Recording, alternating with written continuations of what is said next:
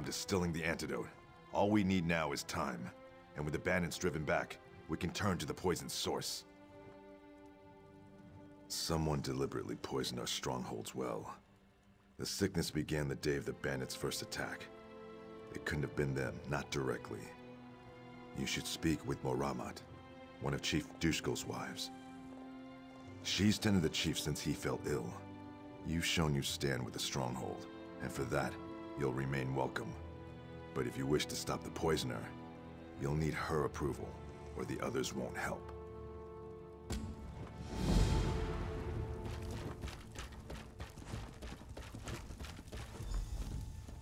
You've proven yourself bloodkith to our stronghold. If any here would call you outsider, you are welcome to answer with the back of your hand. Now, what is it you need? Yes, he convinced me there was never a curse. Know that while Chief Dushko remains ill, I speak on his behalf. I'm his hearthwife, and I say the poisoner must be brought to justice. The sickness happened before the first bandit attack. None are missing from the stronghold. The poisoner must be among us. Can't be any of the victims. There are unpleasant symptoms. Very unpleasant.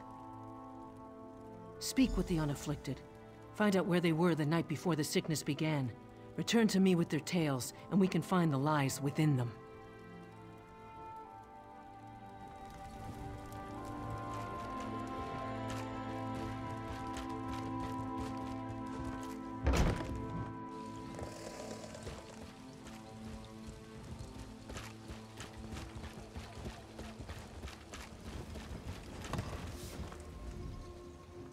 Ah, the hero. What do you want? It's shameful for the raiders to do such a thing. They must have dropped the poison in the well during one of their attacks.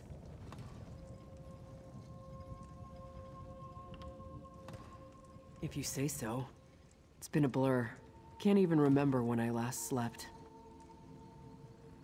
Checking and oiling weapons in the longhouse? Bad for the bandits when they attacked. Still didn't keep them from poisoning the well.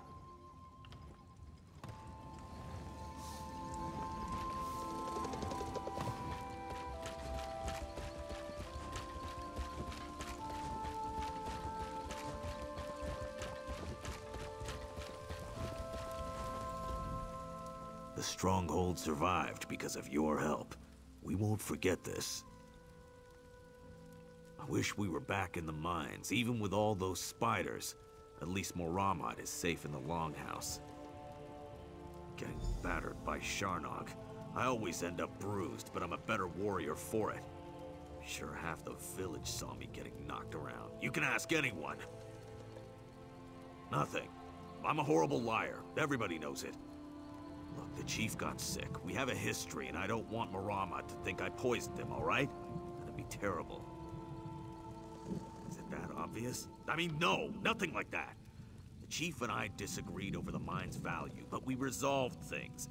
We don't see eye to eye on trade matters, but I'm no traitor to the stronghold, and I'd never do anything to hurt Moramat.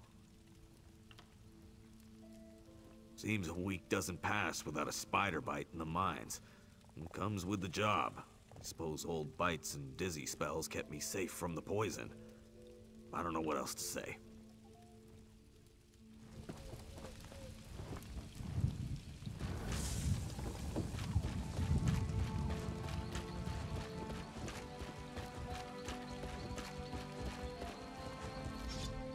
Hello, Bloodkith. Heard you gutted some bandits in the attack. You mean the curse? Sure. I'll help any way I can. It's what I do. Most of our warriors are sick in their beds, or barely able to hold an axe. More bandits for me. Training with Nemorath near the front gate. He opens himself to counterattacks when he lunges. Knew it would hurt him eventually. But he survived the attack, so he'll remember next time. Or not, and he'll die. He should really try to remember. The curse couldn't poison me. Nothing can. When I find a new bug or beast, I don't just kill it. I eat it to gain its strength. Sometimes you, uh, pay for it. But you've never truly conquered something until you've buried it in the ground. Because bandits are dumb. They think an open gate is a weakness, so they all head for it. but we cut them down before they get inside. They could, but they don't. The ones with bows won't fire their arrows at us, so we stand here as bait for the ones without bows. Then they come, and we make them decorate the cobbles. Told you, bandits are dumb.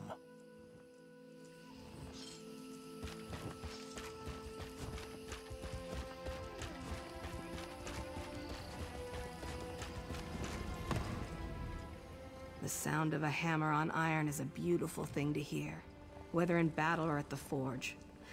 But our mine produces tin. Can't keep a good rhythm with tin.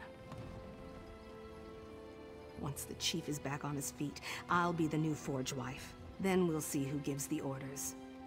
Not that you care. Go ahead, ask me anything. Right here, stoking the forge while my apprentice ran errands for Moramat. Think she can take her away, make my work shoddier? Besides, temperature changes can ruin the metal. I didn't have a choice. Shored up defenses, repaired weapons and armor for the few warriors left standing. Haven't you heard the ring of my hammer? Used it on a few bandits, too. Bandit helmets can't take three hits. Clang, clang, crunch. Shoddy workmanship. If I'd wanted to sabotage the stronghold, I could have the walls topple or make shoddy blades that crumble in our warriors' hands. Yet the walls stand fast and our weapons strike true. Any other insults you care to toss at me? I have metal to work.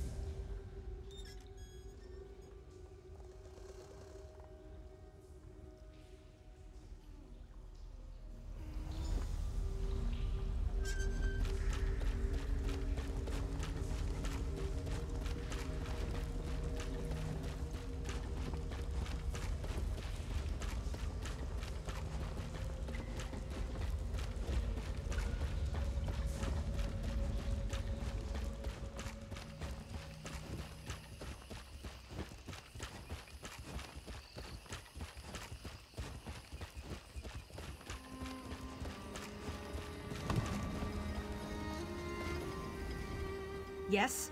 What is it now? Let me see. Ah, that belongs to Rakaz, my apprentice. You can see where the hilt doesn't quite fit the blade. Wish I could say it was one of her first attempts, but she's a slow learner.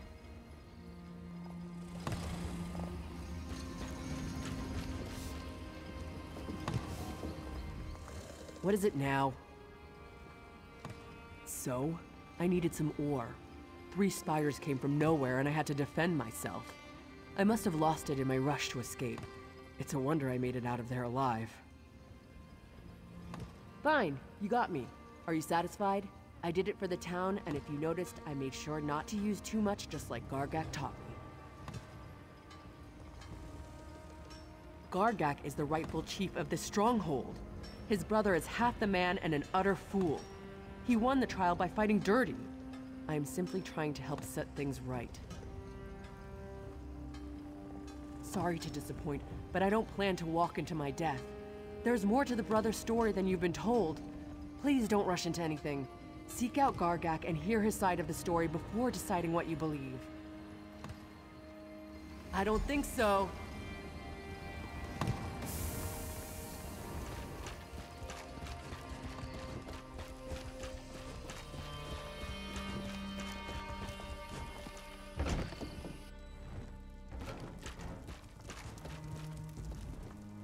What have you found? What has the fool girl done? Never mind that. Shaman Bogum has almost finished his antidote. Once Reeman's Bluff recovers, our warriors will find these bandits and crack open their skulls. I must remain here and see my husband recovers. If you're willing, you should track down Gargak and put an end to his madness. We must stop Gargak at any cost.